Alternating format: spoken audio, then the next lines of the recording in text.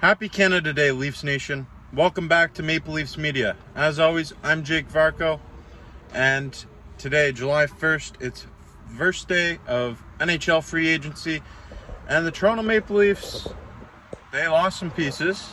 First of all, Ryan O'Reilly and Luke Schenn departing to Nashville, and they brought in Ryan Reaves on a three-year contract worth a little over $4 million. Ryan Reaves is an enforcer. This guy has played for the Vegas Golden Knights, Minnesota Wild, New York Rangers.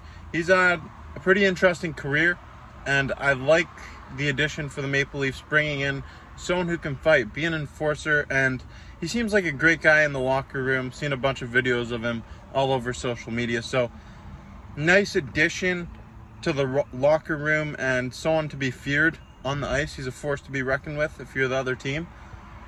But at 36 years of age, a three-year contract is that's a that's a big commitment from the Toronto Maple Leafs. I'm I'm a fan of the addition. Don't get me wrong, but at a three-year deal for 36 years old, he's gonna be 39 by the time that contract expires, and there's not too many 39-year-olds skating around the NHL, let alone enforcers.